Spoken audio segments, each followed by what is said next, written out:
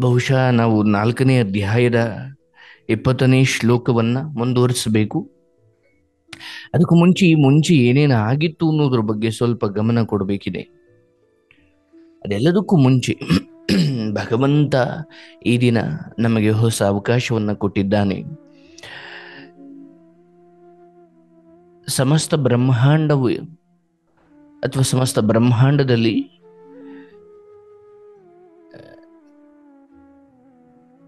ನಮ್ಮ ಪಾತ್ರ ಏನೂ ಇಲ್ಲ ಅಂದುಕೊಡೋದು ಬೇಡ. ಅಥವಾ ನಾವು ಧೂಳಿನ ಸಮ ಅಂದುಕೊಳ್ಳೋದು ಬೇಡ. ಹೌದು, ಅದು ಸತ್ಯ. ಆದರೆ ನಮ್ಮ ಕಾರಣಕ್ಕಾಗಿಯೂ ಸೃಷ್ಟಿಯಲ್ಲಿ ಏನೋ ಒಂದು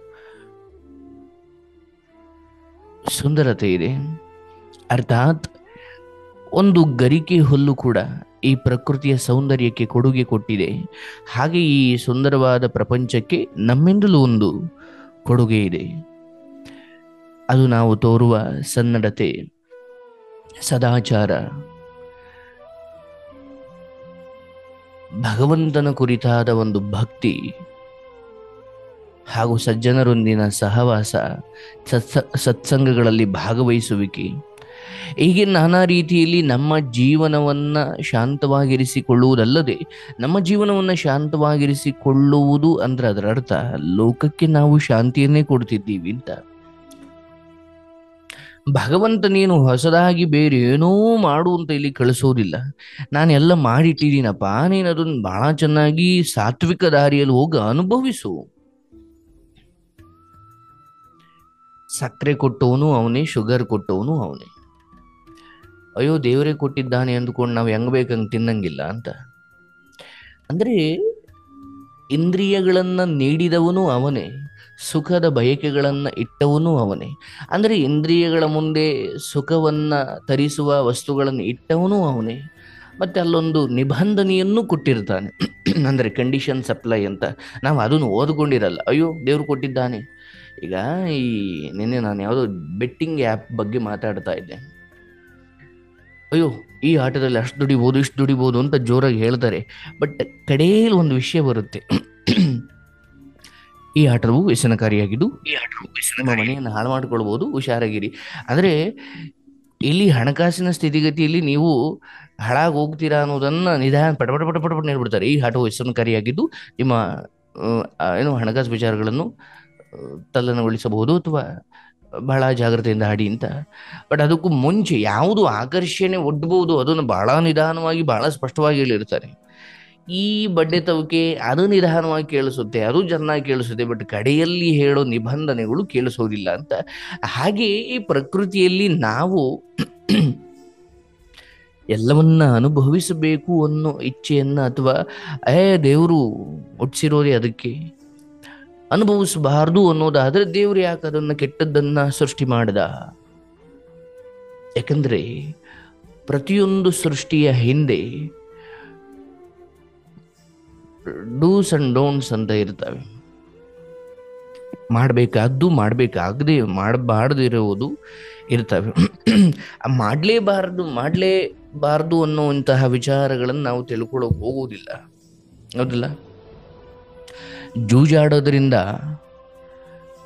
ಇದಕ್ಕಿದ್ದ ಹಾಗೆ ಶ್ರೀಮಂತ ಆಗ್ಬೋದು ಅನ್ನೋ ಒಂದು ಮುಖವನ್ನು ನೋಡ್ತಾರೆ. ಆದರೆ ಅಲ್ಲಿ ಬಹುತೇಕ ಬಾರಿ ಜೀವನವನ್ನೇ ಅಥವಾ ಜೀವವನ್ನೇ ಕಳ್ಕೊಳ್ಳೋ ಹಂತಕ್ಕೆ ಹೋಗ್ತೀವಿ ಅನ್ನೋದ್ರ ಬಗ್ಗೆ ಆರಂಭದಲ್ಲಿ ಯೋಚನೆ ಮಾಡಲ್ಲ, ಕೊನೆಯಲ್ಲಿ ಯೋಚನೆ ಮಾಡಲೇಬೇಕಾದ ಪರಿಸ್ಥಿತಿ ಬಂದೇ ಬರುತ್ತೆ.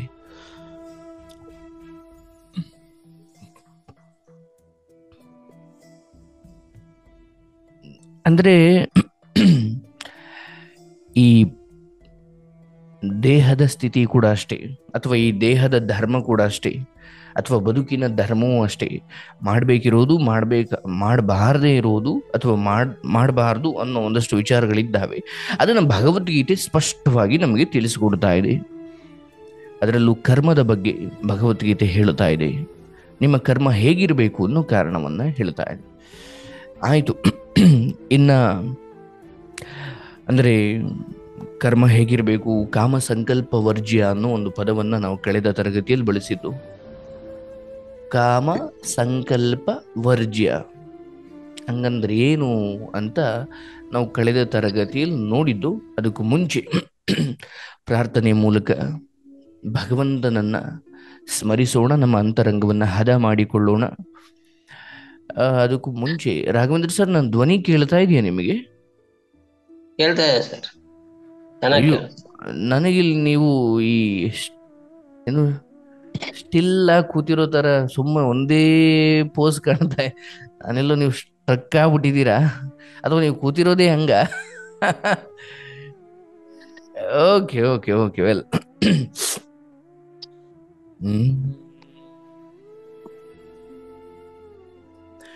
शुक्लाम्भरधरं विष्णुं शशिवर्णं चतुर्भुजं प्रसन्नवदनं ध्यायेत् सर्वविघ्नोपशान्तये। अगजाननं पद्मार्कं गजाननमहर्निशिम् अनेकदन्तभक्तानाम् एकदन्तमुपास्महे। ॐ सर्वमङ्गलमाङ्गल्ये शिवे सर्वार्थसाधिके शरण्ये त्र्यम्बके गौरी नारायणी नमोऽस्तु ते ॐ नारायणं नमस्कृत्यं नरं चैव नरोत्तमं देवीं सरस्वतीं व्यासं ततो जयमुदीरये। नमस्तेऽस्तु महामाये श्रीपीठे सुरपूजिते शङ्खचक्रगदाहस्ते श्रीहट्टिलक्ष्मि नमोऽस्तु ते। कल्याणाद्भुतगात्राय कामितार्थप्रदायिने श्रीमद्वेङ्कटनाथाय श्रीनिवासाय ते नमः। ॐ उग्रं वीरं महाविष्णुं ज्वलन्तं सर्वतोमुखं नरसिंहं भीषणं भद्रं मृत्योर्मृत्युं नमाम्यहम्। ॐ त्र्यम्बकं यजामहे सुगन्धिं पुष्टिवर्धनम् ऊर्मारुखमिव बन्धनान् मृत्योर्मुक्षीयमामृतात्। ॐ कृष्णाय वासुदेवाय। हरये परमात्मने प्रणतः क्लेशनाशाय। गोविन्दाय नमो नमः। ॐ गुरु ब्रह्म गुरु विष्णु गुरुर्देव महेश्वर, गुरुर्साक्षात् परब्रह्म, तस्मै श्री गुरुवे नमः। असतोमसद्घमय तमसोम ज्योतिर्घमय मृत्योर्म अमृतं घमय। ओ ಓಂ ಶಾಂತಿ ಶಾಂತಿ ಶಾಂತಿ.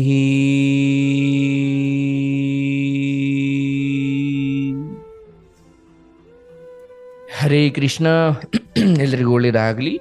ನಾನು ಈ ಇಪ್ಪತ್ತನೇ ಶ್ಲೋಕವನ್ನು ಮುಂದುವರಿಸಬೇಕು. ಅದಕ್ಕೂ ಮುಂಚೆ ನಾನು ಕಳೆದ ತರಗತಿಯಲ್ಲಿ ಕಾಮ ಸಂಕಲ್ಪ ವರ್ಜ್ಯ ಅನ್ನೋ ಒಂದು ಪದವನ್ನು ಹೇಳಿದೆ ಇವನ್ ಭಗವದ್ಗೀತೆಯಲ್ಲೂ ಅದು ಬರುತ್ತೆ. ಹಂಗಂದ್ರೆ ಏನು ಅಂತ ಈಗ ವೀಣಮ್ಮ ಅವ್ರು ಹೇಳ್ತಾರೆ ಕಾಮ ಸಂಕಲ್ಪ ವರ್ಜ್ಯ ಅಂದರೆ ಹೇಳವ್ವ? ಅಂದಾಜು ಮಾಡಿ ಅಂದಾಜು ಮಾಡಿ, ಏನು ತೊಂದರೆ ಇಲ್ಲ. ನೆನಪಿದೆ ಅಂತ ಅಂದುಕೊಳ್ತೀನಿ. ವೀಣಮ್ಮ? ಎಲ್ಲೋದವ್ವ?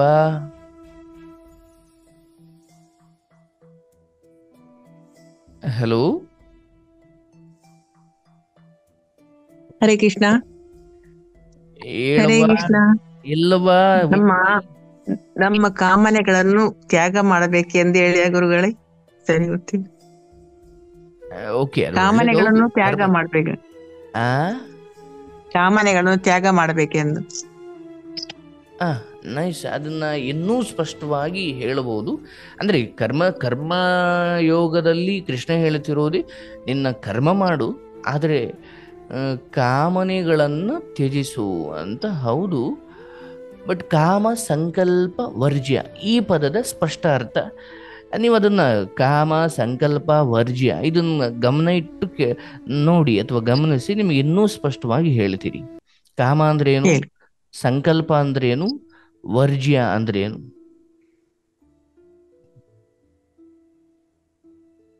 ಇನ್ನೊಂಚೂರು ಇನ್ನೊಂಚೂರು ಟ್ರೈ ಮಾಡಿ ಬಂದ್ಬಿಡುತ್ತೆ. ಕಾಮನೆಗಳೆಂದ್ರೆ ನಮ್ಮ ಆಶೆಗಳು ಸಂಕಲ್ಪದ ನಂಗೆ ಸರಿ ಅರ್ಥ ಆಗೋದಿಲ್ಲ. ರಚೆ ಅಂದ್ರೆ ತ್ಯಾಗ ಮಾಡ್ಬೇಕೆಂದು ಹೇಳಿ. ಹ್ಮ್. ಹೌದು. ಈಗ ಅದು ಇನ್ನೂ ಬಿಡಿಸಿ ಹೇಳ್ಬೇಕಂದ್ರೆ ಕೃಷ್ಣ ಹೇಳ್ತಿದ್ದಾನೆ ನೋಡಿ ನಾವು ಜೀವನದಲ್ಲಿ ಹೀಗೆ ಆಗಬೇಕು. ಅಥವಾ ಹೀಗೆ ಮಾಡಬೇಕು ಅಥವಾ ಇಂಥದ್ದೇ ಸಿಗಬೇಕು ಅನ್ನೋ ಬಯಕೆ, ಆಸೆಗಳನ್ನು ಬಿಟ್ಟು ನಿರಾಳವಾಗಿ ಕರ್ತವ್ಯವನ್ನು ಮಾಡಬೇಕು. ಭಗವಂತ ಏನು ಕೊಡ್ತಾನೋ ಅದನ್ನು ಪ್ರಸಾದವಾಗಿ ಸ್ವೀಕರಿಸು, ಏನು ಬಂತೋ ಅದರಲ್ಲಿ ತೃಪ್ತಿ ಪಡು ಅನ್ನೋದನ್ನು ಇಲ್ಲಿ ಅಂದರೆ ಏನು ಬಂದರೂ ಸಂಕಟ ಪಡಬೇಡ, ಅತೃಪ್ತಿ ವ್ಯಕ್ತಪಡಿಸಬೇಡ. ಅಯ್ಯೋ ಇದು ಬಂತಲ್ಲಪ್ಪ, ನಾನೇನೋ ಅಂದ್ಕೊಂಡಿದ್ದೆ ಏನು ಬಂತು ಅದನ್ನು ಸ್ವೀಕರಿಸುವ ಬುದ್ಧಿ ಬಂದುಬಿಡ್ತು ಅಂದರೆ ನಮ್ಮಷ್ಟು ನೆಮ್ಮದಿ ಪುರುಷರು ಈ ಜಗತ್ತಲ್ಲಿ ಯಾರೂ ಇಲ್ಲ. ಅಂದರೆ ಭಗವಂತನ ಪೂಜೆ ಮಾಡೋದು ಹೌದು, ಮತ್ತೆ ಅವನೇನಾದರೂ ಕೊಟ್ಟಾಗ ಅನುಮಾನಿಸ್ತೀವಿ ಅಂದರೆ ನಮ್ಮ, ನಾವು ಭಗವಂತನಿಗೆ ಅವಮಾನ ಮಾಡಿದಂಗಾಯ್ತಲ್ಲ ಅದಕ್ಕೆ ದೊಡ್ಡವರು ಒಂದು ಮಾತು ಹೇಳ್ತಾರೆ, ನೀನು ದೇವರನ್ನ ಪೂಜಿಸಿರೋ, ಪೂಜಿಸೋದು ಸತ್ಯ, ದೇವರ ಮೇಲಿನ ನಂಬಿಕೆ ಸತ್ಯ ಅನ್ನೋದಾದ್ರೆ ಕಷ್ಟ ಬಂದಾಗ ದೇವರನ್ನ ಅಥವಾ ಏನೋ ನಿಮಗೆ ಸಿಕ್ಕಾಗ ಇಷ್ಟೇ ಇಷ್ಟು ಸಿಕ್ಬಿಡ್ತಲ್ಲ ಅಂತ ನೀವು ದೇವರನ್ನ ಹೀಯಾಳಿಸೋದು ಅಥವಾ ಅವನನ್ನು ಅನುಮಾನಿಸೋದಾಗ್ಬಿಟ್ರೆ ಅದು ದೇವರಿಗೆ ಮಾ, ದೇವರಿಗೆ ಅವಮಾನ ಮಾಡದಂತೆ ಅಂತ. ನಿಮಗೆ ಭಗವಂತನ ಮೇಲೆ ಅಂತಹ ಸೃಷ್ಟಿಯ ಆ ಪರಾಶಕ್ತಿಯ ಮೇಲೆ ನಂಬಿಕೆ ಇದೆ ಎನ್ನುವುದಾದರೆ ನೀನು ಏನು ಕೊಡ್ತೀಯೋ ಅದು ನನ್ನ ಒಳ್ಳೆಯದಕ್ಕಪ್ಪ ನೀನು ಏನು ಕೊಡ್ತೀಯೋ ಅದೇ ನನಗೆ ಪ್ರಸಾದ. ನೋಡಿ ಹೀಗೆ ಅಂದುಕೊಂಡು ಹೋಗುವುದು ಸ್ವಲ್ಪ ಕಷ್ಟವಾಗಬಹುದು ಯಾಕಂದರೆ ನಮಗೆ ಭಗವಂತ ಏನು ಕೊಟ್ಟ ಅದ್ರ ಮೇಲೆ ದುಃಖ ಇಲ್ಲ. ಅಯ್ಯೋ, ಇಷ್ಟೇಷ್ಟು ಕೊಟ್ಟಿದ್ದಾನೆ ಅಂತ ಪಕ್ಕದವ್ರಿಗೆ ಗೊತ್ತಾಗ್ಬಿಟ್ರೆ ಅವ್ರು ಏನಂತಾರೆ ಅನ್ನೋ ದುಃಖ ನಮಗೆ.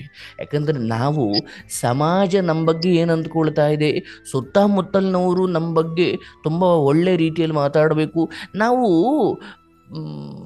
ಈ ಹೊರ, ಹೊರಗಿನ ಜನರ ಅಭಿಪ್ರಾಯ ಕೇಂದ್ರಿತವಾದ ಬದುಕನ್ನು ಕಟ್ಟಿಕೊಳ್ತಾ ಇದ್ದೀವಿ ಇದು ಯಾವತ್ತಿದ್ರೂ ಶಾಪವೇ ಇದು. ನಮಗೆ ಇಷ್ಟು ಅಷ್ಟು ಬಂತು ಅನ್ನೋದ್ರ ಬಗ್ಗೆ ನೋವಿಲ್ಲ. ಆದರೆ ಇಷ್ಟೇಷ್ಟು ಬಂದಿದೆ ಅನ್ನೋದು ಸಮಾಜಕ್ಕೆ ಗೊತ್ತಾದರೆ ಏನಾಗ್ಬೋದು ಅಂತ. ಹೌದಲ್ಲ? ಈಗ ನಮ್ಮ ಮನೆಯ ಹುಡುಗ ಅಥವಾ ನಮ್ಮ ಮನೆಯ ಹುಡುಗಿ ಯಾವುದೋ ಬೇರೆ ಜಾತಿಯ ಹೆಣ್ಮಗಳನ್ನು ಮದುವೆ ಆದ ಅಂದರೆ ನಮಗೆ ಅದ್ರ ಬಗ್ಗೆ ದುಃಖ ಇಲ್ಲ. ಅದು ಗೊತ್ತಾದರೆ ಜನ ನಮ್ಮ ಮರ್ಯಾದೆ ತೆಗಿತಾರಲ್ಲ ಅನ್ನೋ ದುಃಖ. ಅಂದರೆ ನಾವು ಯಾವುದೇ ಪರಿಸ್ಥಿತಿಯನ್ನು ಕೇವಲ ನಾನು ಅದನ್ನು ನಿಭಾಯಿಸಬೇಕು, ಅದನ್ನು ಒಪ್ಕೊಳ್ಬೇಕು ಅಥವಾ ಬಿಡಬೇಕು. ಜನರ ಅಭಿಪ್ರಾಯದ ಮೇರೆಗೆ ನಾನು ಬದುಕಲಿಕ್ಕೆ ಹೋಗಬಾರ್ದು.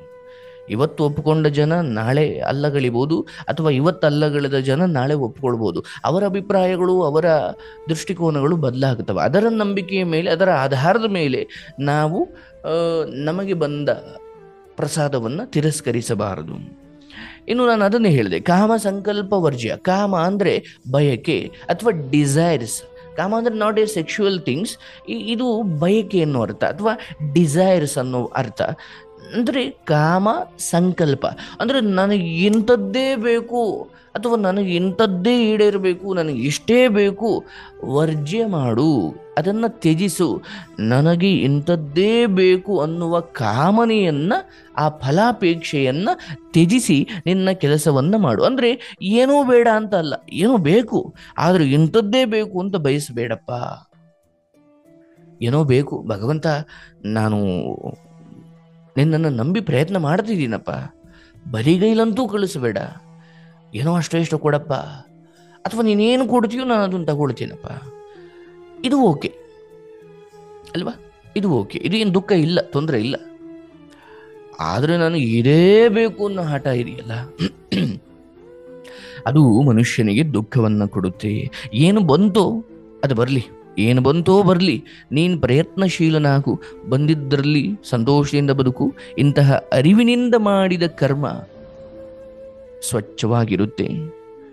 ಇದು ಕರ್ಮದ ಕೊಳೆಯನ್ನು, ಅಂದರೆ ಅರಿವು, ಇದನ್ನ ತಿಳಿದು ಮಾಡುವುದು ಯಾವುದೇ ಅಂತಹ ದೊಡ್ಡ ಕಾಮವನ್ನ, ಬಯಕೆಯನ್ನ ಹಠ ಸಾಧಿಸದೆ ನನಗಿಂಥದ್ದೇ ಬೇಕು, ಕೊಟ್ರೋ ನೀನು ದೇವರು, ಕೊಡ್ಲಿಲ್ವಾ, ನೀನು ದೇವರೇ ಅಲ್ಲ. ಅಯ್ಯೋ ನನ್ನ ಒಂದು ಕಾಯಕದ ಫಲ ನಾನು ಅಂದುಕೊಂಡಷ್ಟು ಬರಲಿಲ್ಲ ಅನ್ನೋ ಮಾತ್ರಕ್ಕೆ ದೇವರ ಅಸ್ತಿತ್ವವನ್ನೇ ಅಲ್ಲಗಳೆಯುವ ಮನುಷ್ಯ ಆತ ಭಕ್ತಿಯುತವಾದ ಅಥವಾ ಭಗವಂತ ಭಗವಂತ ಪ್ರೀತಿಸ್ತಾನೆ. ಅಯ್ಯೋ, ನೀವು ಭಗವಂತನನ್ನು ಇಲ್ಲ ಅಂದ್ರೂ ಭಗವಂತ ನಿಮ್ಮನ್ನು ಪ್ರೀತಿಸ್ತಾನೆ. ಹಾಗಾಗಿ ನೀವು ಒಂದು ನೆಮ್ಮದಿಯ ಬದುಕನ್ನು ಕಟ್ಟಿಕೊಳ್ಬೇಕು ಅನ್ನೋದಾದರೆ ಕರ್ಮ ಮಾಡು, ತಿಳಿದು ಮಾಡು. ಏನು ತಿಳಿ ಮಾಡು, ತಿಳಿದು ಮಾಡು, ಅರಿವಿನಿಂದ ಮಾಡು. ಅರಿವು ಅಂದ್ರೆ ಏನು? ನಾನು ಕರ್ಮ ಮಾಡ್ತೀನಿ, ಫಲಾಫಲ ಭಗವಂತನಿಗೆ ಬಿಡ್ತೀನಿ. ಕರ್ಮ ಮಾಡುವುದರಿಂದ, ಪ್ರಯತ್ನ ಮಾಡುವುದರಿಂದ ಖಂಡಿತ ಭಗವಂತ ನನಗೆ ದ್ರೋಹವನ್ನು ಮಾಡುವುದಿಲ್ಲ. ಆದರೆ ಅವನೇನು ಕೊಡ್ತಾನೋ ಅದನ್ನು ತೆಗೆದುಕೊಳ್ಳುವಷ್ಟು ತೃಪ್ತ ಜೀವನ ನನ್ನದಾಗಬೇಕು. ಈ ಅರಿವು ಇಟ್ಟುಕೊಂಡು ಕರ್ಮ ಮಾಡಿದಾಗ ಆ ಕರ್ಮಗಳು ಸ್ವಚ್ಛವಾಗಿರ್ತವೆ ಇಲ್ಲಾಂದ್ರೆ ಕರ್ಮಗಳು ಬಂಧನವಾಗಿಬಿಡ್ತವೆ ಅಂತ. ಆಯಿತು, ಇನ್ನ ಇಪ್ಪತ್ತನೇ ಶ್ಲೋಕದಲ್ಲಿ ಮುಂದುವರೆದು. ಅಲ್ಲಿ ಇಪ್ಪತ್ತನೇ ಶ್ಲೋಕದಲ್ಲಿ ಕೃಷ್ಣ, ಮತ್ತೆ ಅರ್ಜುನನಿಗೆ ಇದೇ ವಿಚಾರವಾಗಿ ಇನ್ನೊಂದು ಸ್ವಲ್ಪ ಡೀಪ್ ಆಗಿ ಹೇಳೋ ಪ್ರಯತ್ನ ಮಾಡ್ತಿದ್ದಾನೆ. ತ್ಯಕ್ತ್ವ ಕರ್ಮ ಫಲ ಸಂಗಂ ನಿತ್ಯ ತೃಪ್ತೋ ನಿರಾಶ್ರಯ ಕರ್ಮಣ್ಯಭಿಪ್ರವೃತ್ತೋ ವಿನೈವ ಕಿಂಚಿತ್ ಕರೋತಿ ಸಹ, ಕರ್ಮ ಫಲದಲ್ಲಿ ನೇಹವನ್ನ ತೊರೆದು. ಅಂದ್ರೆ ಹಠ, ತಾನು ಎಂದೂ ಇತರ ಬಯಕೆ ಇಲ್ಲದ ಯಾರಿಗೂ ತಲೆಬಾಗದ ಭಗವಂತನ ಪಡಿಯೆಚ್ಚು ಎಂದು ತಿಳಿದವನು. ಕರ್ಮದಲ್ಲಿ ತೊಡಗಿದರೂ ವಾಸ್ತವವಾಗಿ ಏನೂ ಮಾಡುವುದಿಲ್ಲ. ಅಂದರೆ ಇದನ್ನ ಚೆನ್ನಾಗಿ ತಿಳ್ಕೊಂಡು ಬಿಟ್ರೆ ಇನ್ನೂ ನಮ್ಮ ಅರಿವು ಹೆಚ್ಚಾಗುತ್ತೆ. ಅಂದ್ರೆ ಕೃಷ್ಣ ಹೇಳ್ತಿದ್ದಾನೆ, ಕೆಲವರಿಗೆ, ಕೆಲವರು ಇರ್ತಾರೆ. ಅವ್ರಿಗೆ ಅದು ಬೇಕು, ಇದು ಬೇಕು ಅನ್ನೋ ಆಸೆನೇ ಇರುವುದಿಲ್ಲ. ಬಂದಾಗ ಖುಷಿ ಪಡ್ತಾರೆ. ಬಟ್ ಏನು ಬರಬೇಕು ಅನ್ನೋದ್ರ ಬಗ್ಗೆ ಆಸೆ ಇರುವುದಿಲ್ಲ ಆಸೆ ಇರುತ್ತಾದರೂ ಹಠ ಇರುವುದಿಲ್ಲ ಕರ್ಮ ಫಲದಲ್ಲಿ ಅತಿಯಾದ ಸ್ನೇಹ ಒಳ್ಳೆಯದಲ್ಲ. ಅಂದರೆ ಕರ್ಮದ ಜೊತೆ ಅತ್ಯಂತ ಸ್ನೇಹವನ್ನು ಇಟ್ಕೋ. ಆದರೆ ಫಲದ ಜೊತೆ ಅತ್ಯಂತ ಸ್ನೇಹವನ್ನು ಇಟ್ಕೊಳ್ಬೇಡ. ಕರ್ಮದ ಜೊತೆ ಸ್ನೇಹ ಇಟ್ಕೋ, ಫಲದ ಜೊತೆ ಸ್ನೇಹ ಇಟ್ಟುಕೊಳ್ಬೇಡ ಭಗವಂತ ಪ್ರೇರಣೆ ಮಾಡಿದ ಬಂತು. ಅದನ್ನ ಸದ್ವಿನಿಯೋಗ ಮಾಡುವುದು ಹೇಗೆ ಅನ್ನೋದನ್ನು ಯೋಚಿಸು. ಒಬ್ಬಬೇಡ ಬರಬೇಕು ಅಂತ ನಿರೀಕ್ಷಿಸಬೇಡ. ನಿರೀಕ್ಷಿಸದೇ ಬಂದಾಗ ಹಾರಾಡಬೇಡ. ಫಲದ ಬಗ್ಗೆ ಅತಿಯಾದ ಮಮತೆ ಒಳ್ಳೆಯದಲ್ಲ. ಇದೊಂದೇ ಮನುಷ್ಯ ಆಯಾಗಿ ನೆಮ್ಮದಿಯಾಗಿ ಬದುಕಲು ಇರುವ ವಿಧಾನ. ಇದು ಇಲ್ಲದಿದ್ದರೆ ಹತಾಶೆ, ಅಂದರೆ ಡಿಸಪಾಯಿಂಟ್ಮೆಂಟ್ ಅಂತ ಹೇಳ್ತಾರಲ್ಲ.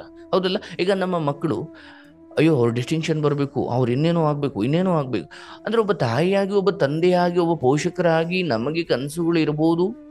ಆದರೆ ಆ ಮಗುವಿಗೊಂದು ಅರ್ಹತೆ, ಯೋಗ್ಯತೆ ಅಂತ ಇರುತ್ತೆ. ಅದನ್ನ ಅಷ್ಟು ಮಾತ್ರ ಬಿಟ್ಟು ಅಥವಾ ಅದು ಇನ್ನೇನು ಮಾಡ್ಲಿಕ್ಕೆ ಸಾಧ್ಯ. ಅಥವಾ ತಡೆಪ ನಮ್ಮ ತಾಯಿ, ತಂದೆಗಳು ಹಿಂಗೆ ಕನಸು ಕಟ್ಟಿಬಿಟ್ಟಿದ್ದಾರೆ ಅಂತ ಪ್ರಯತ್ನ ಮಾಡ್ಬೋದು. ಆದರೆ ಫಲ ಅದ್ರ ಕೈಲಿ ಇಲ್ಲ ಹಾಗಂತ ಮಕ್ಕಳ ಮೇಲೆ ನಿರೀಕ್ಷೆ ಇಟ್ಕೊಳ್ಬಾರ್ದ ಇಟ್ಕೊಳ್ಬೇಕು ಯಾವ ಹೇಗಿಟ್ಟುಕೊಳ್ಬೇಕು ನಿಮಗೆ ಮಗನ ಮಾರ್ಕ್ಸ್ ಕಾರ್ಡ್ಗಿಂತ ಮಗ ಮುಖ್ಯನಾ? ಅವನಿಂದ ಕೆಲವೊಮ್ಮೆ ಸಾಧ್ಯವಾಗಲಿಲ್ಲ ಅಂದಾಗ ಅವನನ್ನು ಕ್ಷಮಿಸಬೇಕು. ಮತ್ತೆ, ಏ, ಇರಲಿ ಬಿಡು ಮಗ, ಬದುಕು ದೊಡ್ಡದು. ಮಾರ್ಕ್ಸ್ ಕಾರ್ಡಲ್ಲಿ ನೀನು ಸೋತಿರ್ಬೋದು, ಬದುಕು ದೊಡ್ಡದು. ನೀನು ಕಟ್ಕೊಳ್ತೀಯ ಬದುಕನ್ನು? ಅಂದರೆ ಈ ದೃಷ್ಟಿಕೋನದಿಂದ ನೋಡಿದಾಗ ಮಗ ಏನು ಮಾರ್ಕ್ಸ್ ತೆಗ್ದ, ಆಯಿತು, ನೀವೇನೋ ನಿರೀಕ್ಷೆ ಮಾಡಿದ್ರಿ, ಹಂಗೆ ಬಂತ, ಖುಷಿ ಬರಲಿಲ್ವಾ? ಪ್ರೋತ್ಸಾಹಿಸಬೇಕು. ಏ, ಪರವಾಗಿಲ್ಲ ಮಗ. ಅಂದ್ರೆ ಮಕ್ಕಳ ಮಾರ್ಕ್ಸ್ ಕಾರ್ಡ್ ಮೇಲೆ ಮಕ್ಕಳ ಯೋಗ್ಯತೆಯನ್ನು ಅಳೆಯುವ ಆ ವ್ಯವಸ್ಥೆ, ಆ ಮನಸ್ಥಿತಿ ಹೊರಟು ಹೋಗಬೇಕು. ಈ ಮಾರ್ಕ್ಸ್ ಕಾರ್ಡಲ್ಲಿ ಮಕ್ಕಳು ಹೆಚ್ಚು ಮಾರ್ಕ್ಸ್ ತೆಗೆದುಬಿಟ್ಟು ಮಾರ್ಕ್ಸ್ ಕಾರ್ಡ್ ಮನೆಗೆ ತಂದು ಕೊಟ್ಟರೆ ಅದನ್ನು ಅಕ್ಕಪಕ್ಕದ ಮನೆಯವರಿಗೆ ತೋರಿಸಿ, ನೆಂಟರು, ಸಂಬಂಧಿಕರಿಗೆಲ್ಲ ತೋರಿಸಿ, ಮಕ್ಕಳು ದೊಡ್ಡವರಲ್ಲತ್ತೆ ತಂದೆ ತಾಯಿಗಳು ದೊಡ್ಡವರಾಗ್ಲಿಕ್ಕೆ ನೋಡ್ತಾರೆ. ಆದರೆ ಮಕ್ಕಳು ನಿಮ್ಮ ಆಸೆಯನ್ನು ಈಡೇರಿಸುವುದರಲ್ಲಿ ಮೆಂಟಲಿ ಕುಸಿದು, ಸುಸ್ತಾಗಿ ಬಿದ್ದು ಹೋಗಿರ್ತಾರೆ. ಇದರ ಬಗ್ಗೆ ನಾವು ನೋಡಿ ಸರಿಯಾಗಿ ತಿಳ್ಕೊಳ್ಬೇಕು. ಫಲದ ಬಗ್ಗೆ ಅತಿಯಾದ ಮಮತೆ ಬೇಡ. ಅಂದುಕೊಂಡ್ರಿ. ಆಯ್ತೋ. ಓಕೆ. ಆಗಲಿಲ್ವೋ? ಮುಂದುವರಿತಾ ಇರಬೇಕು. ಆದರೆ ಹತಾಶೆ ಬೇಡ. ನಾನು ಹೇಳಿದ್ನಲ್ಲ, ಸಮಾಜ ಕೇಂದ್ರಿತವಾದ ಬದುಕು ನಮ್ದು ಆಗಬಾರ್ದು ಈ ವಿಚಾರದಲ್ಲಿ. ಅಂದ್ರೆ ಸಮಾಜ ಏನಂತ ಇದೆ? ಅಯ್ಯೋ, ಪಕ್ಕದ ಮನೆಯವರು ಏನಂತಾರೆ? ಹಂಗಂತ ಕೆಟ್ಟ ಕೆಟ್ಟ ವಿಚಾರಗಳಿಗೆಲ್ಲ ಸಮರ್ಥನೆ ಮಾಡ್ಕೊಳ್ಳೋದಲ್ಲ. ಓ, ಕೃಷ್ಣ ಹೇಳಿದ್ದಾನೆ ಬಿಡಿ, ಮಗ ಏನು ಮಾಡ್ಕೊಂಡು ಬಂದರೂ ಸರಿ ಅಂತ ಅಲ್ಲ. ಕೆಲವು ಸಾತ್ವಿಕ ವಿಚಾರಗಳು ಅಂತ ಬಂದಾಗ ಮಾತ್ರ ಅಥವಾ ಕರ್ಮ, ಪ್ರಾಮಾಣಿಕವಾಗಿ ಕರ್ಮ ಮಾಡಿಯೂ ಅಷ್ಟು ಫಲ ಬರಲಿಲ್ಲ ಅಂದಾಗ, ಅಯ್ಯೋ ಬಿಡಪ್ಪ, ಏನೋ ಒಳ್ಳೆಯದು ಮುಂದೆ ಕಾದಿದೆ ಎಂದುಕೊಳ್ಬೇಕು ಸುಮ್ಮನೆ ಆಗಬೇಕು ಬಟ್ ನಮಗೆ ಫಲ ಬಂದಾಗ ದುಃಖ ಯಾಕಾಗುತ್ತೆ? ಈ ಮುಂಚೆ ನಾವೇನೋ ನಿರೀಕ್ಷೆ ಮಾಡ್ಕೊಂಡು ಕೂತಿದ್ವಿ. ಓ ನಮ್ಮ ಮಗ ಇಷ್ಟು ಮಾರ್ಕ್ಸ್ ತೆಗಿತಾನೆ. ನಮ್ಮ ಮಗಳು ಇಷ್ಟು ಮಾರ್ಕ್ಸ್ ತೆಗಿತಾಳೆ. ಅಥವಾ ನಮ್ಮ ಮಗ ಇಂಥ ದೊಡ್ಡ ಏನು ಜಾಬ್ಗೆ ಸೇರ್ತಾನೆ. ಅಥವಾ ಏನೋ ಒಂದು ನಿರೀಕ್ಷೆಗಳಿರ್ತವೆ ಇಟ್ಕೊಳ್ಬಾರ್ದ. ಇಟ್ಕೊಳ್ಬೇಕು. ಆದರೆ ಆ ಮಧ್ಯೆ ಒಂದು ಅರಿವಿರಬೇಕು. ಅಕಸ್ಮಾತ್ ಆಗದೆ ಹೋದರೆ ಇದು ನನಗೆ ದುಃಖ ಕೊಡುವಷ್ಟು ದೊಡ್ಡ ಕಾಮನೇನಾ? ಹಂಗಾದ್ರೆ ನಾವು ಅದನ್ನು ತ್ಯಜಿಸಬೇಕು. ಯಾಕಂದ್ರೆ ಬದುಕು ದೊಡ್ಡದು. ಇವತ್ತು ರೋಡ್ ಸೈಡ್ ಡಾಂಬಾರ್ ಹಾಕಿ ಕಲ್ಲು ಹೊಡೆದು ಅಥವಾ ಗುಡಿಸ್ತಲ್ಲಿ ಬದುಕೋರು ಎಷ್ಟು ಜನ ಬದುಕ್ತಾ ಇಲ್ಲ? ಹಂಗಂತ ಒಂದು ಒಂದು ಒಂದು ಶ್ರೀಮಂತಿಕೆಯ ಬದುಕನ್ನು ನಾವು ಪಡ್ಕೊಳ್ಬಾರ್ದ ಖಂಡಿತ ಪಡ್ಕೊಳ್ಬೇಕು. ಅವ್ರು ನೆಮ್ಮದಿಯಾಗಿದ್ದಾರೆ ಕಲ್ಲು ಹೊಡ್ಕೊಂಡು ಅಥವಾ ಯಾವುದೋ ಕೂಲಿ ಕೆಲಸ ಮಾಡ್ಕೊಂಡು ನೆಮ್ಮದಿಯಾಗಿದ್ದಾರೆ ಅಂತ ಬಿಡು ನಾವು ಹಂಗೆ ಇರೋಣ ಅಂತಲ್ಲ. ಅವ್ರ ಪಾಲಿಂದ ಅವ್ರದ್ದು ನಾವು ಪ್ರಯತ್ನಿಸಬೇಕು. ಅದ್ಭುತವಾದದಕ್ಕೆ ಪ್ರಯತ್ನಿಸಬೇಕು. ಸಿಗಲಿಲ್ವಾ ಭಗವಂತ? ನೀನೆಷ್ಟು ಕೊಡ್ತೀಯೋ ಅಷ್ಟಪ್ಪ. ಅಂದರೆ ಈ ಈ ಈ ಬುದ್ಧಿ ಬರಬೇಕು ಅಂದಾಗ ನೀವು ಅಕ್ಷರಶಃ ಸನ್ಯಾಸಿ ಥರ ಬದುಕಬೇಕು. ಎಲ್ಲರ ನಡುವೆನೂ ಇರಬೇಕು. ಆದರೆ ನಿಮ್ಮ ಗೆಲುವು, ನಿಮ್ಮ ಸೋಲು ಏನೋ ನಿರೀಕ್ಷೆ ಮಾಡಿದಾಗ ಬಂದುಬಿಡ್ತಾ ಮರ ಹತ್ತಬಾರ್ದು ಓಹೋ ನನ್ನ ಬಿಟ್ಟರೆ ಯಾರೂ ಇಲ್ಲ. ಇನ್ನು ವರಾಂಡಕ್ಕೆ ನಾನೇ ಅಧ್ಯಕ್ಷ ಅನ್ನಂಗೆ ಆಡಬಾರ್ದು. ಯಾಕಂದರೆ ಗೊತ್ತಿಲ್ಲದೆ ಬಂದಿದೆ. ಅದೇ ಬಂದಿರೋದು ಗೊತ್ತಿಲ್ಲದೆ ಒಂಟು ಹೋಗುತ್ತೆ. ಬಟ್ ನನಗೇನು ಬಂದುಬಿಟ್ಟಿದೆ ಅಂತ? ಹಾಗಾಗಿ ಬಂದಾಗ ಉಬ್ಬು ಬೇಡಪ್ಪ, ಹೋದಾಗ ಕುಗ್ಗು ಬೇಡ. ಅಂದರೆ ಮೊದಲೇ ನೆಮ್ಮದಿಯಿಂದ ನೀನು ಬದುಕಬೇಕು ಅನ್ನೋದಿದ್ರೆ ಫಲದ ಬಗ್ಗೆ ಅತಿಯಾದ ಮಮತೆ ಒಳ್ಳೆಯದಲ್ಲ ಹ್ಮ್? ಅದು ನಿನಗೆ ಡಿಸಪಾಯಿಂಟ್ಮೆಂಟ್ ಹತಾಶೆಯನ್ನು ಮಾಡುತ್ತೆ. ಮನುಷ್ಯ ಹೀಗಾಗಬೇಕು, ಹಾಗಾಗಬೇಕು ಅಂತ ಕನಸುಗಳ ಸರಮಾಲೆಯನ್ನು ಕಟ್ತಾ ಹೋಗ್ತಾನೆ. ಹೌದಲ್ಲ? ಅಯ್ಯೋ, ಇವತ್ತು ಈಗ ನಾವು ಈ ಐದು ಗಂಟೆ ಐವತ್ತೇಳು ನಿಮಿಷದಲ್ಲಿ ಈ ಕ್ಷಣ ಕೂತು ಯೋಚನೆ ಮಾಡೋದು ನಮ್ಮ ಎಷ್ಟು ಕನಸುಗಳಿದ್ದಾವೆ? ಇವನ್ ಇಷ್ಟೆಲ್ಲ ಹೇಳೋ ನನಗೆ ಕನಸಿಲ್ವಾ? ಖಂಡಿತ ಇದೆ. ಆದರೆ ಆ ಕನಸುಗಳು ಇರುವುದರ ಜೊತೆಗೆ ಆ ಕನಸುಗಳು ಈಡೇರಬೇಕು ಅಂದಾಗ ಅದಕ್ಕೆ ಸೂಕ್ತವಾದ ತರಬೇತಿ ಅಥವಾ ಸೂಕ್ತವಾದ ಏನು? ಮುಂಜಾಗ್ರತೆಯುತವಾಗಿ ನೀವು ಅದಕ್ಕೆ ತಯಾರಿ ಮಾಡಿಕೊಳ್ತಾ ಇದ್ದೀರಾ? ಅಂದರೆ ತುಂಬ ಜನ ಸೋಲುವುದು ಇಲ್ಲಿ ಅಂದರೆ ಕನಸುಗಳು ಉತ್ಕೃಷ್ಟವಾಗಿರುತ್ತವೆ, ಆದರೆ ತಯಾರಿ ಕಳಪೆಯಾಗಿರುತ್ತೆ. ಕನಸುಗಳು ಉತ್ಕೃಷ್ಟವಾಗಿದ್ದು, ತಯಾರಿ ಕಳಪೆಯಾಗಿದ್ದರೆ ಸಹವಾಸಗಳು ಕಳಪೆಯಾಗಿದ್ದರೆ ಮನಸ್ಥಿತಿ ಕಳಪೆಯಾಗಿದ್ದರೆ ದೇಹಸ್ಥಿತಿ ಕಳಪೆಯಾಗಿದ್ದರೆ ನಿಮ್ಮ ಉತ್ಕೃಷ್ಟ ಕನಸುಗಳು ಕನಸಾಗಿಯೇ ಉಳಿತಾವೆ. ಜೀವನದಲ್ಲಿ ಅಂಥದ್ದೊಂದು ಆಸೆಯನ್ನು ಇಟ್ಟುಕೊಳ್ಬೇಕು. ಯಾವ ಆಸೆ? ಕೇವಲ ನಿಮ್ಮ ತಯಾರಿಯ ಕುರಿತಾಗಿ ಮಾತ್ರ ಇರುತ್ತೆ, ನಿಮ್ಮ ಫಲದ ಕುರಿತಾಗಿ ಅಲ್ಲ. ನಿಮ್ಮ ತಯಾರಿಯ ಕಡೆ ಗಮನ ಪೂರ್ಣ ಪ್ರಮಾಣದಲ್ಲಿ ಕೊಟ್ಟಿದ್ದೇ ಆದಲ್ಲಿ ಅವಶ್ಯವಾಗಿ ಫಲವೂ ಕೂಡ ಉತ್ಕೃಷ್ಟವೇ ಆಗಿರುತ್ತೆ. ತುಂಬ ಜನ ಇನ್ನು ಎಕ್ಸಾಮೇ ಬರೆದಿಲ್ಲ. ಇನ್ನು ಅಪಾಯಿಂಟ್ಮೆಂಟ್ ಆರ್ಡ್ರೇ ಕೈಗೆ ಬಂದಿಲ್ಲ. ಆಲ್ರೆಡಿ ಫಲದ ಅಥವಾ ಸನ್ಮಾನದ ಬಗ್ಗೆ ಯೋಚನೆ ಮಾಡ್ತಾರೆ. ಇದು ಮನುಷ್ಯನಿಗೆ ಒಳ್ಳೆಯದಲ್ಲ ಅಂತ. ನೋಡಿ, ಬಯಸಿದ್ದು ಎಲ್ಲವೂ ಕೈಗೂಡುವುದಿಲ್ಲ ಆಗ ಕೈಗೂಡದೆ ಹೋದರೆ ಹತಾಶೆ, ದುಗುಡ, ಉದ್ವೇಗ, ಟೆನ್ಷನ್, ಅದರಿಂದ ಮಾನಸಿಕ ಡಿಪ್ರೆಷನ್, ಅದನ್ನು ವ್ಯಾಕುಲತೆ ಅಂತ ಕರಿತೀವಿ. ಇನ್ನು ಅಕಾಲದಲ್ಲಿ ಸಂಪತ್ತು ಬಂದರೆ ಹಾರಾಟ ಬರಬಾರ್ದ ಸಮಯದಲ್ಲಿ ಮಳೆ ಬಂದರೆ ಹೆಂಗೆ ಸಮಸ್ಯೆನೋ? ಹಂಗೆ ಬರಬಾರ್ದ ಸಮಯದಲ್ಲಿ ಶ್ರೀಮಂತಿಗೆ ಬಂದರೆ ಮನುಷ್ಯನಿಗೂ ಅದು ಸಮಸ್ಯೆನೇ. ಅದರಿಂದ ಜೀವನ ನಾಶ. ಹೌದಲ್ಲ? ಈ ಕಾರಣದಿಂದ ಬಂತು ಅಂತ ಆಗಲಿ, ಅಥವಾ ಬರಲಿಲ್ಲ ಅಂತ ಆಗಲಿ, ಅಥವಾ ಬರಬೇಕು ಅಂತ ಆಗಲಿ ತಲೆ ಕೆಡಿಸ್ಕೊಳ್ಬೇಡಿ. ಅರ್ಥ ಆಯ್ತಲ್ಲ? ಸಹಜವಾದ ಬದುಕನ್ನು ಬದುಕಬೇಕು. ಬಂತು ಅಂತ ಹಾರಾಡಬೇಡ. ಅಥವಾ ಬರಲಿಲ್ಲ ಅಂತ ಕುಗ್ಗಬೇಡ ಅಥವಾ ಬರಬೇಕು ಅಂತ ತಲೆ ಕೆಡಿಸ್ಕೊಳ್ಬೇಡ. ಕೇವಲ ಕೇವಲ ನಿನ್ನ ಕರ್ಮದ ಬಗ್ಗೆ ಮಾತ್ರ ಗಮನ.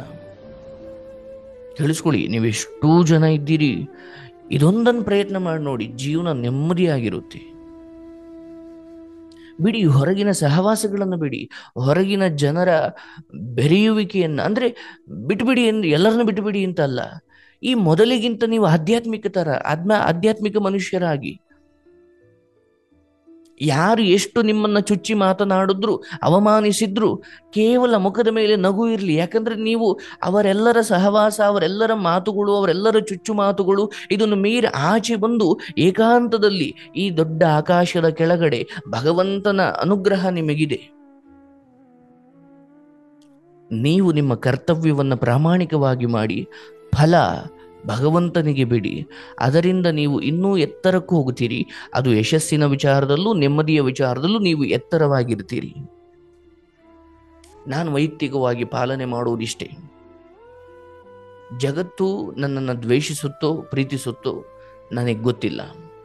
ಆದರೆ ನನ್ನದೇ ಆದ ಒಂದು ಆಧ್ಯಾತ್ಮಿಕವಾದ ದೃಷ್ಟಿಕೋನ ಅಥವಾ ನನ್ನದೇ ಆದ ಒಂದು ಏಕಾಂತದ ಬದುಕನ್ನು ತರಗತಿ ಆಯ್ತಾ ಕೌನ್ಸಿಲಿಂಗ್ಗಳಾಯ್ತಾ ಕಾರ್ಯಕ್ರಮ ಆಯ್ತಾ, ಹೊರಗಿನ ಪ್ರವಚನಗಳಾಯ್ತಾ, ಬಂದವರು, ಆಶ್ರಮಕ್ಕೆ ಬಂದವರಾಯ್ತಾ, ಇದ್ರ ಹೊರತಾಗಿ ನಾನು ಸದಾ ಬಂದವರು ನನ್ನನ್ನು ಹೊಗಳ್ಲಿ ಅಂತ ನಾನು ಬಯಸೋದಿಲ್ಲ. ಅಥವಾ ಇನ್ಯಾರು ತೆಗಳಿದ್ರೆ ನನಗೆ ಬೇಜಾರಿಲ್ಲ. ಯಾಕಂದ್ರೆ, ಅಂದರೆ ಇದೆಲ್ಲದಕ್ಕೂ ಬೇಜಾರು ಮಾಡಿಕೊಳ್ಳೋದು ಅಥವಾ ಖುಷಿ ಪಡೋ ಒಂದು ಕಾಲ ಇತ್ತು. ಈಗ ಅದನ್ನು ದಾಟಿ ಮುಂದೆ ಬಂದಾಗ ನಾನು ಸ್ವಯಂ ನನ್ನ ಇಪ್ಪತ್ನಾಲ್ಕು ಗಂಟೆಗಳನ್ನು ಕೇವಲ ಕೇವಲ ನಾನೇನೋ ಹೊಸದಾಗಿ ಕಲಿಬೇಕು. ಅದು ಪ್ರವಚನ ಮಾಡೋ ದೃಷ್ಟಿಕೋನದಿಂದ, ಅಯ್ಯೋ ತಡಿಯಪ್ಪ, ಇವತ್ತು ಪ್ರವಚನ ಐತಿ, ಅದಕ್ಕೆ ನಾನು ಓದಬೇಕು. ಇಲ್ಲ. ನಾನು ಓದೋದು ಎಕ್ಸಾಮ್ ದೃಷ್ಟಿಕೋನದಿಂದ ಅಲ್ಲ, ನನ್ನ ಜ್ಞಾನದ ದೃಷ್ಟಿಕೋನದಿಂದ. ಎಲ್ಲಿಯವರೆಗೂ ಎಕ್ಸಾಮಿಗೋಸ್ಕರ ಓದ್ತೀನಿ? ಅದಾದ್ಮೇಲೆ ನನಗೂ ಎಕ್ಸಾಮ್ ಪೇಪರ್ ಕೊಟ್ಟು ಆಚೆ ಬಂದಾದ್ಮೇಲೆ ನನಗೆ ಮರ್ತು ಹೋಗಿರುತ್ತೆ. ಅಂದ್ರೆ ಯಾವ ದೃಷ್ಟಿಕೋನದಲ್ಲಿ ಓದ್ತೀರಾ ಅಂತ. ಈಗ ಶಾಲೆಯ ಕನ್ನಡ ಗಣಿತ ವಿಜ್ಞಾನ ಅದು ಎಕ್ಸಾಮ್ಗೋಸ್ಕರನೇ ಓದಬೇಕು, ಅದು ಬೇರೆ. ಆದ್ರೆ ಹೊರಗಿನ ಸಂಸ್ಕಾರದ ಅಥವಾ ಮಾರಲ್ ಎಜುಕೇಷನ್ ಇದೆಯಲ್ಲ, ಅದು ಯಾವುದು, ಓ, ತಡೆಯಪ್ಪ, ಯಾರಿಗೂ ಒಂದು ಕತೆ ಹೇಳಬೇಕು, ಅದಕ್ಕೆ ಒಂದು ಕತೆ ಓದ್ಕೊಳ್ಳೋಣ. ಇಲ್ಲ. ಜೀವನಕ್ಕೋಸ್ಕರ ಓದಬೇಕು. ಈಗ ನನಗೆ ಯಾರೋ ಕೇಳ್ತೀರ ನೀವು ಕಾರ್ಯಕ್ರಮದ ನಡುವೆ ಏನು ಪುಸ್ತಕ ಇಟ್ಕೊಂಡಿರೋದಿಲ್ಲ ಏನು ಇಟ್ಕೊಂಡಿರೋದಿಲ್ಲ ಒಂದು ಸೂಕ್ತ ಕಥೆಗಳನ್ನು, ಉಪಕಥೆಗಳನ್ನು ಹೇಳ್ತಿರಲ್ಲ ಹೆಂಗೆ ಅಂತ.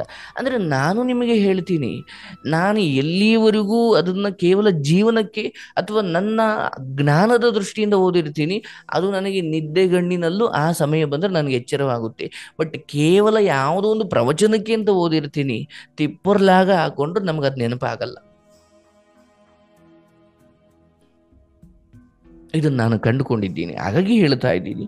ಸೊ ಹಾಗಾಗಿ ಬಂತು ಅಂತ ಮೆರಿಬೇಡ, ಬರಲಿಲ್ಲ ಅಂತ ಕುಗ್ಗಬೇಡ ಅಥವಾ ಬರಬೇಕು ಅಂತ ತುಂಬ ಕಾಯ್ಲಿಕ್ಕೆ ಹೋಗಬೇಡ. ನಿನ್ನ ಕೆಲಸ ನೀನು ಮಾಡು. ನಿನ್ನ ಕೆಲಸ ನೀನು ಮಾಡ್ತಾ ಇರು ಅಮೆಝಾನರು ಕೊರಿಯರರು ಬಂದು, ಸರ್, ನಿಮಗೆ ಫಲ ಬಂದಿದೆ. ಅವಾಗ ಈಸ್ಕೊಳ್ಳಿ, ಸಿಂಪಲ್. ಅಯ್ಯೋ, ಬರ್ತಾರೆ ಅಂತ ಕಾಯ್ತಾ ಕೂತ್ಕೊಂಡು ಕೆಲಸನೇ ಬಿಟ್ಬಿಡೋದಲ್ಲ. ಓ, ಇವತ್ತು ಫಲ ಬರುತ್ತಂತೆ ಕೊರಿಯರಲ್ಲಿ ಪ, ಅಂದ್ರೆ ಫಲಕ್ಕೆ ಯಾವ ಮಟ್ಟಿಗೆ ಅಂದ್ರೆ ಕರ್ಮವನ್ನೇ ಬಿಡುವಷ್ಟು ಅದಾಗಬಾರದು ಅಂತ ಅದು ಬರುತ್ತೆ. ಸರ್, ಕೊರಿಯರ್, ಫಲ ಬಂದಿದೆ ನಿಮಗೆ ಭಗವಂತನಿಂದ? ಅವು ಕೊಡಪ್ಪ, ಅಷ್ಟೇ, ಸಿಂಪಲ್. ನಾವು ಫಲ ಕೊಟ್ಟವನನ್ನ ಬಾರಪ್ಪ, ಫಲ ತಂದಿದೀಯ, ಬಾರೋ, ಒಳಗಡೆ ಕೂತ್ಕೋಬಾರೋ ಏನು ಬೇರಿಕಿಲ್ಲ ಫಲ ಅದ್ರ ಪಾಡಿಗೆ ಅದು ಬರುತ್ತೆ. ಅದು ಯಾವಾಗ ನಿಮ್ಮ ಬ್ಯಾಂಕಿಗೆ ಕ್ರೆಡಿಟ್ ಆಗುತ್ತೋ ಗೊತ್ತಿಲ್ಲ.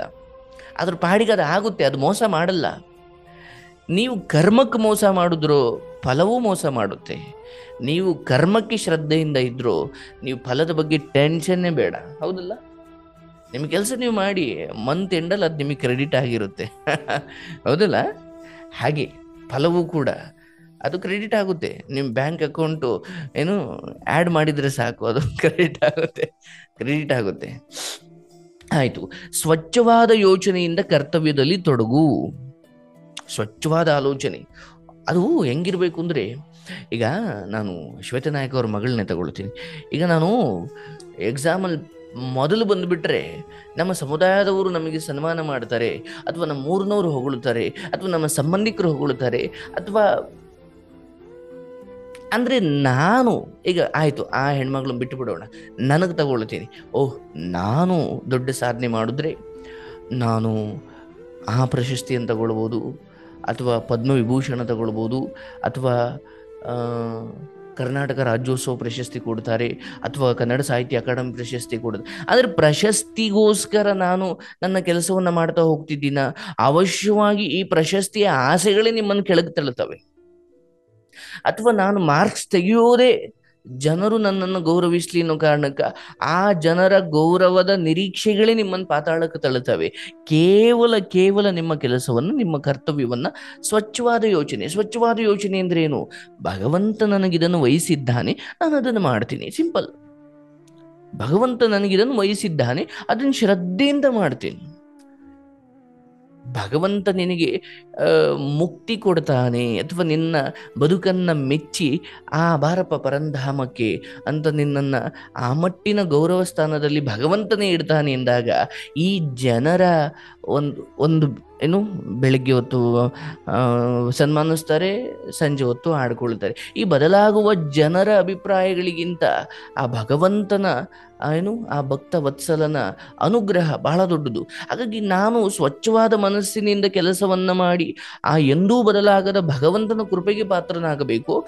ಇಲ್ಲ ಏನೇನೋ ಲೌಕಿಕ ಆಸೆ ಇಟ್ಟುಕೊಂಡು ಅವ್ರಿವ್ರು ಸನ್ಮಾನ ಮಾಡ್ತಾರೆ ಅವ್ರಿವ್ರು ನನ್ನ ಹೊಗಳ್ತಾರೆ, ಎಲ್ಲರ ಮುಂದೆ ನನ್ನನ್ನು ದೊಡ್ಡದಾಗಿ ನೋಡ್ತಾರೆ, ಈ ಆಸೆಗಳನ್ನ ಇಟ್ಕೊಂಡು ನಾನು ಚಿಕ್ಕವನಾಗೋದಕ್ಕಿಂತ ಕೇವಲ ಸ್ವಚ್ಛವಾದ ಆಸೆ. ಭಗವಂತ ನನಗೆ ಕೊಟ್ಟಿದ್ದಾನೆ. ಈಗ ನನ್ನನ್ನು ತಂದೆ ತಾಯಿ ಶಾಲೆ ಕಳಿಸ್ತಿದ್ದಾರೆ. ಅಷ್ಟೇ. ತಂದೆ ತಾಯಿನೇ ದೇವರು. ಅವರ ನಂಬಿಕೆಯನ್ನು ನಾನು ಉಳಿಸ್ಕೊಡ್ಬೇಕು. ಅಯ್ಯೋ ನನ್ನ ತಾಯಿ ಏನು ನನ್ನ ಕೆಟ್ಟದಕ್ಕೆ ಹೇಳ್ತಾರ ಅಯ್ಯೋ, ಒಂದು ಮಾತು ಹೇಳಿ ಬೈತಾಳೆ. ಯಾಕೆ? ಯಾಕಂದ್ರೆ ನನ್ನ ಏಜನ್ನು ದಾಟು ಹೋಗಿದ್ದಾಳೆ. ಏನು ತಪ್ಪು, ಏನು ಸರಿ, ನನಗಿಂತ ಆಕೆಗೆ ಚೆನ್ನಾಗಿ ಗೊತ್ತು. ಹಾಗಾಗಿ ಆಕೆ ಒಂದು ಮಾತು ಬೈದ್ರೆ, ನನ್ನ ಉದ್ಧಾರಕ್ಕೆ ಆಗಿರುತ್ತೆ. ಒಂದು ಬೈಗುಳವನ್ನು ಕೇವಲ, ಅಂದರೆ ತಂದೆಯೋ, ತಾಯಿಯೋ ಬುದ್ಧಿ ಹೇಳಿದ್ದಾರೆ ಅಥವಾ ಅವ್ರಿಗೆ, ಅಯ್ಯೋ ಹಿಂಗಲ್ಲವಾ ಅಂತ ಸಮಾಧಾನವಾಗಿ ಹೇಳೋಕೆ ಬರದೇ ಇದ್ದಾಗ, ಅವ್ರು ಬೈತಾರೆ ಪಾಪ. ಅವ್ರಿಗೆ ಗೊತ್ತಿರೋದೇ ಅದು. ಅಂದರೆ ಬೈಗುಳ ಅಥವಾ ಜೋರಾಗಿ ಸಿಡುಕಾಗಿ ಮಾತಾಡೋದು ಅವ್ರಿಗೆ ರೂಢಿ ಆಗ್ಬಿಟ್ಟಿರುತ್ತೆ. ಬಟ್ ಅದರಿಂದ ಅವರಿಗೆ ವಿಷ ಇರುವುದಿಲ್ಲ. ನಿಮ್ಗೆ ಒಳ್ಳೆಯದೇ ಹೇಳಿರ್ತಾರೆ. ಬಟ್ ನಮಗೇನು ಅನ್ಸ್ಬಿಡುತ್ತೆ? ಬೈದ್ ಬುದ್ಧಿ ಹೇಳಿದವರೆಲ್ಲ ನಮ್ಗೆ ಹಾಳು ಮಾಡಲಿಕ್ಕೆ ಹೇಳ್ತಾವ್ರೆ ಅಂತ. ಅದು ಹೆಂಗೆ ಅಂದರೆ, ಏ ಪಾಪ ಬಾಯ್ಲಿ, ತಗೋ, ಇದೊಂಚೂರು ವಿಷ ಇದೆಯಲ್ಲ, ತಗೋ, ಕುಡಿ. ಪ್ರೀತಿಯಿಂದ ಹೇಳಿದ್ರೆ ವಿಷ ಕುಡಿತಾರೆ. ಏಯ್, ಅದು ವಿಷ ಕೊಣೋ ಕುಡಿಬೇಡ. ಓ, ಇವನು ಸಿಟ್ಟಿನಿಂದ ಹೇಳ್ದ ಅಂದ್ರೆ ನಾನು ಕೆಟ್ಟದ್ದಕ್ಕೆ ಹೇಳೇನೆ ಅಂತ ವಿಷ ಕುಡಿಯೋದು. ಅರೆ, ಪ್ರೀತಿಯಿಂದ ಹೇಳಿದ್ರು ತೊಂದರೆ ಇಲ್ಲ. ಅಥವಾ ದ್ವೇಷದಿಂದ ಹೇಳಿದ್ರು ತೊಂದರೆ ಇಲ್ಲ. ಒಳ್ಳೇದು ಹೇಳಬೇಕು. ಆದಷ್ಟು ಸತ್ಯವನ್ನೇ ಹೇಳಿ, ಪ್ರಿಯವಾಗುವಂತೆ ಹೇಳಿ. ಎಂತಹ ಪರಿಸ್ಥಿತಿಯಲ್ಲೂ ಸಂಯಮ ಇರಲಿ. ತಾಳ್ಮೆ. ಈ ರೀತಿ ನಿನ್ನ ಮನಸ್ಸನ್ನು ತರಬೇತಿಗೊಳಿಸ್ಕೊಳ್ಬೇಕು. ಅರ್ಥ ಆಯ್ತಲ್ಲ? ಹೆಂಗಿರಬೇಕು? ಬಂತು ಅಂತ ಹಾರಾಡಬಾರ್ದು, ಬರಲಿಲ್ಲ ಅಂತ ಕುಗ್ಗಬಾರ್ದು, ಬರಬೇಕು ಅಂತ ಕೆಲಸವನ್ನು ಬಿಟ್ಟು ಕಾಯಬಾರ್ದು. ಹೌದಲ್ಲ? ತಲೆ ಕೆಡಿಸ್ಕೊಳ್ಬಾರ್ದು. ಮತ್ತೆ ಸ್ವಚ್ಛ ಯೋಚನೆಯಿಂದ ಕರ್ತವ್ಯ ಮಾಡು. ಎಂಥ ಪರಿಸ್ಥಿತಿ ಬಂದರೂ ಸಂಯಮ ಇರಲಿ, ತಾಳ್ಮೆ. ಈ ರೀತಿ ನಿನ್ನ ಮನಸ್ಸನ್ನು ತರಬೇತಿಗೊಳಿಸು. ಇದು ಕೃಷ್ಣನ ಮನಃಶಾಸ್ತ್ರ. ಇಡೀ ಜಗತ್ತಿಗೆ ಮೊದಲು ಮನಃಶಾಸ್ತ್ರವನ್ನು ಕೊಟ್ಟವನೇ ಕೃಷ್ಣ. ಆ ಭಗವಂತನ ಈ ಮಾತುಗಳನ್ನು ನಾವು ಪಾಲಿಸಬೇಕು. ಸಂಯಮ ಬಹಳ ಮುಖ್ಯವಾಗಿ ತಾಳ್ಮೆ. ಯಾಕೋ ಇವತ್ತು ಬದುಕು ನಿಮಗೆ ತುಂಬ ಕಷ್ಟ ಕೊಡ್ತಿರ್ಬೋದು ಯಾಕೋ ನೀವು ಅಂದ್ಕೊಂಡಷ್ಟು ಒಳ್ಳೆಯ ಬದುಕು ನಿಮಗೆ ಸಿಗದೇ ಇರ್ಬೋದು ಹಾಗಂತ ವ್ಯತಿ ಪಡಬೇಡಿ ನಿಮ್ಮ ಜೀವನದ ಕತ್ತಲೆಯ ದಿನಗಳು ದೂರವಾಗುತ್ತವೆ. ಅದಕ್ಕೆ ನಿಮ್ಮ ಪ್ರಯತ್ನವನ್ನಂತೂ ನೀವು ಮಾಡ್ತಾರೆ ಕರೆಂಟ್ ಹೋಯಿತು ಅಥವಾ ಮನೆ ಕತ್ಲಲ್ಲಿದೆ ಎಂದಾಗ, ಇಲ್ಲ ಬಿಡು ಕೃಷ್ಣ ಕರೆಂಟ್ ಕೊಡ್ತಾನೆ ಅನ್ನೋದಕ್ಕಿಂತ ಒಂದು ದೀಪ ಹಚ್ಚುವ ವಿವೇಕವನ್ನಂತೂ ಭಗವಂತ ಕೊಟ್ಟಿದ್ದಾನೆ ಎನ್ನುವುದಾದರೆ ನಾವು ಅದನ್ನು ಬಳಸ್ಕೊಳ್ಬೋದಲ್ಲ.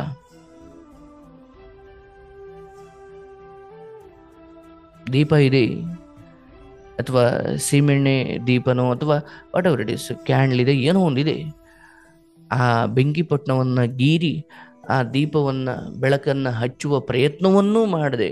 ಎಲ್ಲವನ್ನು ಭಗವಂತನ ಮೇಲೆ ಹಾಕಿ ಕೂತ್ಕೊಳ್ಳೋದು ಒಳ್ಳೆಯದಲ್ಲ ಈಗ ಇನ್ನೊಂದು ಮುಖ್ಯವಾದ ವಿಚಾರಕ್ಕೆ ಬರ್ತಾನೆ ಜೀವ ಭಗವಂತನ ಪ್ರತಿಬಿಂಬ. ಅಂದರೆ ಆತ್ಮದ ಬಗ್ಗೆ ಮಾತಾಡ್ತಿದ್ದಾನೆ. ಅದರಲ್ಲೂ ಅದನ್ನು ನೀವು ಜೀವ ಅಂತ ಅಂದುಕೊಳ್ಳಿ. ಜೀವ ಭಗವಂತನ ಪ್ರತಿಬಿಂಬ, ಅದಕ್ಕೆ ಸ್ವಾತಂತ್ರ್ಯವಿಲ್ಲ. ಬಿಂಬ ಮಾಡಿಸಿದಂತೆ ಪ್ರತಿಬಿಂಬ, ಹೌದಲ್ಲ? ಬಿಂಬ ಪ್ರತಿಬಿಂಬ, ಭಗವಂತ ನಿತ್ಯ ತೃಪ್ತ, ಆತನಿಗೆ ಅತೃಪ್ತಿ ಇಲ್ಲ. ಹಾಗೆ ನಾವು ಕೂಡ ಅತೃಪ್ತಿ ಇಲ್ಲದೆ ಬದುಕುವುದನ್ನು ಕಲಿತುಕೊಳ್ಬೇಕು. ಯಾವುದೋ ಒಂದು ಆಸೆ ಈಡೇರಿಸಿಕೊಳ್ಳುವುದಕ್ಕಾಗಿ ಎಷ್ಟೋ ಜನರ ಹಿಂದೆ ಬಾಲ ಅಲ್ಲಾಡಿಸ್ಕೊಂಡು ಯಾವುದೋ ಆಸೆಗೋಸ್ಕರ ಎಷ್ಟೋ ಜನರ ಹಿಂದೆ, ದೊಡ್ಡ ದೊಡ್ಡವ್ರ ಹಿಂದೆ ಅವ್ರಿಗೆ ಹೇಳಿದ್ದೆಲ್ಲ ಮಾಡಿಕೊಂಡು ಬಾಲ ಅಲ್ಲಾಡಿಸ್ಕೊಂಡು ಸ್ವಾರ್ಥ ಮನಸ್ಸಿನಿಂದ ಬದುಕುವುದು ಜೀವನವೇ ಅಲ್ಲ. ನೋಡಿ, ಯಾರ ಆಶ್ರಯವೂ ಇಲ್ಲದಿರುವ ಭಗವಂತನ ಪ್ರತಿಬಿಂಬವಾದ ನಿಮಗೆ ಅತೃಪ್ತಿಯ ಬಯಕೆ ಏಕೆ ಅಥವಾ ಅತೃಪ್ತಿಯ ಬದುಕೇಕೆ ಭಗವಂತನಂತೆ ನಿರಾಶ್ರಯನಾಗು, ಭಗವಂತ ಯಾರನ್ನೂ ಅವಲಂಬಿಸಿಲ್ಲ. ಹಾಗೆ ನಾವು ಕೂಡ, ಈಗ ನೀವು ಎಲ್ಲೋ ತಾಲೂಕು ಆಫೀಸಲ್ಲಿ ಹೋಗಿ ಒಂದು ಇದು ಮಾಡಿಸ್ಕೊಳ್ಬೇಕು, ಯಾರನ್ನೋ ಹೆಲ್ಪ್ ಕೇಳಬೇಕು, ಅವಾಗಲೂ ನೀವು ಯಾರನ್ನೂ ಆಶ್ರಯಿಸಬೇಡಿ ಅಂತಲ್ಲ. ಎಂಥ ಕೆಲಸಗಳಿಗೆ ನೀವು ಸಹಾಯ ತಗೊಳ್ಬೋದು, ಆದರೆ ಬದುಕಿಗೆ, ಓ, ಅವನ ಹಿಂದೆ ಒಂದು ಸುತ್ತಿದ್ರೆ ನಾಲ್ಕು ಕಾಸು ಸಿಗುತ್ತೇನು, ಗೌರವ ಹಾಳು ಹೌದಲ್ವಾ? ಯಾರ ಬಾಯಿಗೂ ನೀವು ಸಿಗಬಾರ್ದು. ನಿನಗೆ ಸದಾ ಭಗವಂತನ ಆಶ್ರಯವಿದೆ ಎನ್ನುವ ಸತ್ಯವನ್ನು ಅರ್ಥ ಮಾಡಿಕೊಳ್ಳಿ. ಯಾಕಂದ್ರೆ ನೀವೆಲ್ಲ ಭಗವಂತನ ಮಕ್ಕಳಿದ್ದೀರಿ.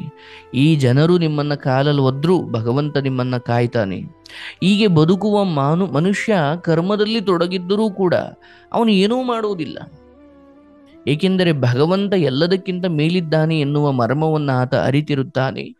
ಇದಕ್ಕೆ ಇನ್ನೂ ಹೆಚ್ಚಿನ ವಿಚಾರವನ್ನು ಈಗ ಮುಂದಿನ ಶ್ಲೋಕದಲ್ಲಿ ಕೃಷ್ಣ ಮತ್ತೆ ಹೇಳ್ತಾನೆ ನೋಡಿ, ನೀವು ನಾವೆಲ್ಲ ಅರ್ಥ ಮಾಡಿಕೊಳ್ಬೇಕು. ನಿರಾಶ್ರಯನಾಗು. ಯಾರ ಹಿಂದೆನೂ ಓಡಾಡಿಕೊಂಡು ನಮ್ಮ ಸ್ವಾಭಿಮಾನವನ್ನು ಮರೆತು ಅವ್ರ ಹಿಂದೆ ನಮ್ಮ ಯಾವುದೋ ಸ್ವಾರ್ಥ ಈಡೇರಿಸ್ಕೊಳ್ಳೋಕೆ ಯಾರ್ಯಾರಿಗೂ ಜೈಕಾರ ಹಾಕೋದು ಒಳ್ಳೇದಲ್ಲ. ನಮ್ಮ ಶಕ್ತಿಯಿಂದ ಯಾವ್ದ್ಯಾವುದನ್ನು ಪಡ್ಕೊಳ್ಬೋದು ಅಷ್ಟು ಮಾತ್ರ ಪಡ್ಕೊಳ್ಳೋಣ. ಆದರೆ ಬೇರೆಯವರ ಶಕ್ತಿಯನ್ನು ನಂಬಿ ಪಡ್ಕೊಂಡು ಯಾವುದೂ ಕೂಡ ನಮ್ಮ ಹತ್ರ ಇರೋದಿಲ್ಲ. ಯಾಕಂದ್ರೆ ಅದು ಬೇರೆಯವ್ರ ಶಕ್ತಿಯಿಂದ ಬಂದದ್ದು. ಅದು ಹೇಗಂದರೆ ನಿಮ್ಮ ಶಕ್ತಿಯಿಂದ ಅಥವಾ ನಿಮ್ಮ ಶ್ರಮದಿಂದ ಯಾವುದನ್ನಾದರೂ ಕೊಂಡುಕೊಳ್ಳಿ ಅಥವಾ ಏನನ್ನಾದರೂ ಸಂಪಾದಿಸಿ, ಅದು ಕೆಟ್ಟು ಹೋದರೆ ಅದಕ್ಕೆ ಪರಿಹಾರವೂ ನಿಮ್ಮ ಇರುತ್ತೆ. ಯಾಕಂದ್ರೆ ಅದು ನಿಮ್ಮ ಶಕ್ತಿ, ನಿಮ್ಮ ಶ್ರಮದಿಂದ ಬಂದಿರತಕ್ಕಂಥದ್ದು. ಅಂದರೆ ಅದಕ್ಕೆ ಸರ್ವಿಸು ಕೂಡ ನೀವೇ ಮಾಡ್ಬೋದು. ಆದರೆ ಬೇರೆಯವರಿಂದ ತರಿಸ್ಕೊಂಡ್ವಿ ಅಥವಾ ಬೇರೆಯವರಿಂದ ಕೈ ಕಾಲು ಹಿಡಿದು ಅಥವಾ ಅವ್ರ ಹಿಂದೆ ಮುಂದೆ ಸುತ್ತಿ ಅವಾಗ ಚಿಕ್ಕ ಏನೋ ಎಡವಟ್ಟಾದ್ರೆ ಮತ್ತೆ ಅವ್ರಿಗೆ ಸರ್ವಿಸ್ ಅವ್ರಿಗೆ ಹೋಗ್ಬೇಕಾಗುತ್ತೆ. ಹಾಗೆ ಬೇರೆಯವ್ರ ಏನು? ಬಾಯಿಗೆ ಸಿಗ್ದಂಗೆ ಬೇರೆ, ಬೇರೆಯವ್ರ ಕಾಲದಡಿಗೆ ಸಿಗ್ದಂಗೆ ಸ್ವಾಭಿಮಾನದ ಬದುಕನ್ನು ಬದುಕು. ಹಂಗೆ ಬದುಕಬೇಕಂದ್ರೆ ನಿಮಗೆ ನೆನಪಿರಬೇಕಾಗಿರೋದೇನು? ಸಾಕ್ಷಾತ್ ನನ್ನ ಅಂತರಂಗದಲ್ಲಿರುವ ಆತ್ಮ, ಭಗವಂತನ ಪ್ರತಿಬಿಂಬ. ಪರಮಾತ್ಮ ಬೇರೆ ಅಲ್ಲ, ಆತ್ಮ ಬೇರೆ ಅಲ್ಲ.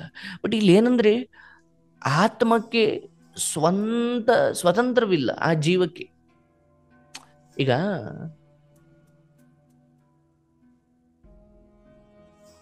ಚಂದ್ರನ ಬಿಂಬ ನಮಗೆ ನೀರೊಳಗಡೆ ಕಾಣ್ತಾ ಇದೆ.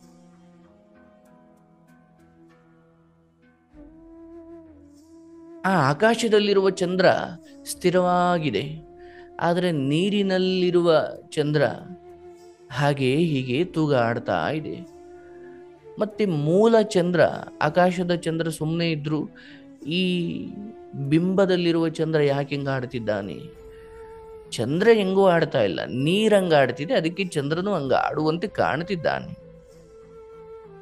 ಈಗ ಸರಿ, ನೀರಲ್ಲಿರೋ ಚಂದ್ರ ಇದ್ದಕ್ಕಿದ್ದ ಹಾಗೆ ಚಲಿಸಬೇಕು ಅಥವಾ ಎತ್ತಗೋ ಹೋಗಬೇಕು ಅಥವಾ ಮಾಯವಾಗಬೇಕು ಅಥವಾ ಅದು ಮೋಡ ಮುಚ್ಚಿಕೊಳ್ಬೇಕು. ಈ ನೀರಲ್ಲಿರುವ ಚಂದ್ರನಿಗೆ ಏನಾದರೂ ಸ್ವಾತಂತ್ರ್ಯ ಇದೆಯಾ? ಇಲ್ಲ.